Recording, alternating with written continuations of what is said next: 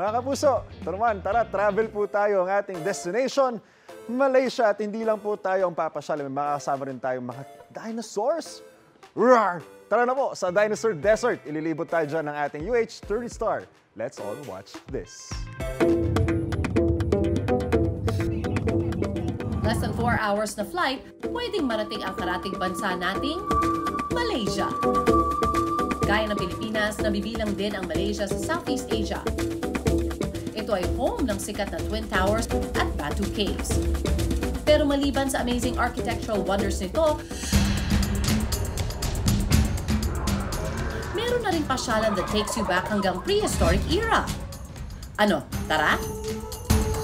State-of-the-art theme park na may laking 11 hectares o hanggang 8 football field ang dinosaur pasyalan na ito. Itinuturing ito ngayong pinakamalaking dinosaur park sa Southeast Asia. At para samahan tayo sa ating pasyal, treat sa atin yan ang ating UH tourist star ng Malaysia na si Janine Chong. Nandito na nga tayo sa entrance ng Dino Desert. Dito pa lang makikita na natin itong life-size na dinosaur na talaga namang sobrang laki. So tara, pasok na tayo. Dream mo bang up close makakita ng dinosaurs? Well, here you go! Gumagalaw ang mga buntot, paa, daliri at kumukurap ang mata kasabay ang bibig ng mga dinosaur dahil sa animatronics.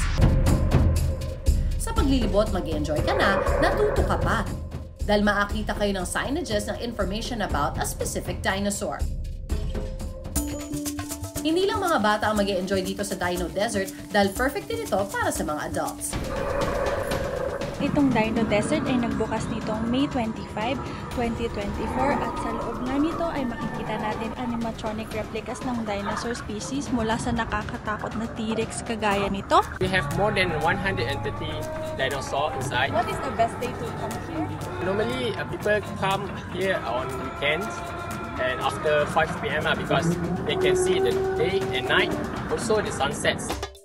Ma-enjoy mo na ang Dino Desert for only 55 ringgit o sa mga nasa 681 pesos dito sa Pilipinas. At para naman sa mga kids na 3 to 12 years old, 45 ringgit naman o nasa 557 pesos. Ako nga pala ulit si Janine Chong, ang UH tourist star ng Kuala Lumpur, Malaysia.